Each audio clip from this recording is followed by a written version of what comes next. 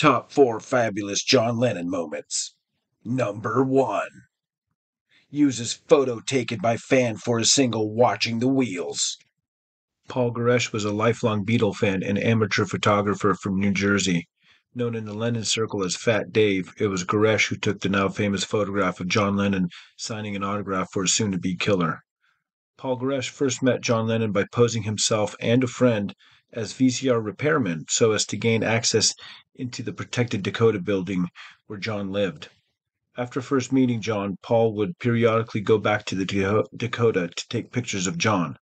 John soon became privy to Paul's voyeurism and set out to stop him, explaining to Paul that no new images of him should be taken, seeing as John was protective of his public image.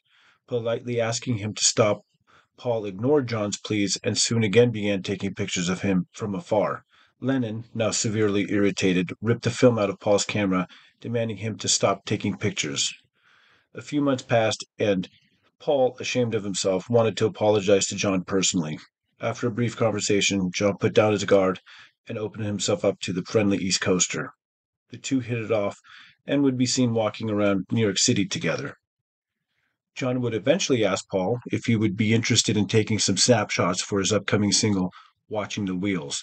Overjoyed, Paul happily agreed and, alongside a second photographer, took pictures for John's upcoming single. After scanning all the photos, John was to pick Paul's photo, cementing Goresh as a serious photographer. Number two.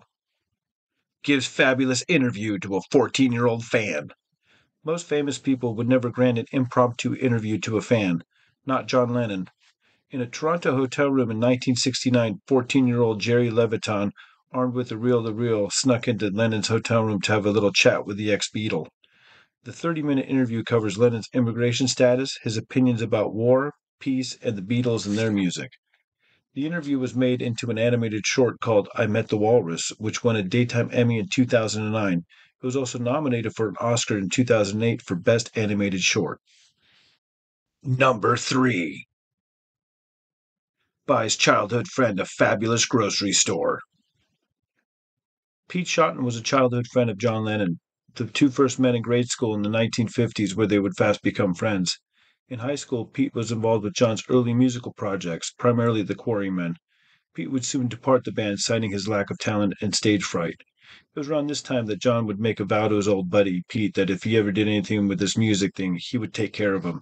True to his word, John purchased Pete a grocery store on Hayling Island. The purchase proved both a smart and lucrative investment. Pete Shotton worked his grocery shop until his death in 2017.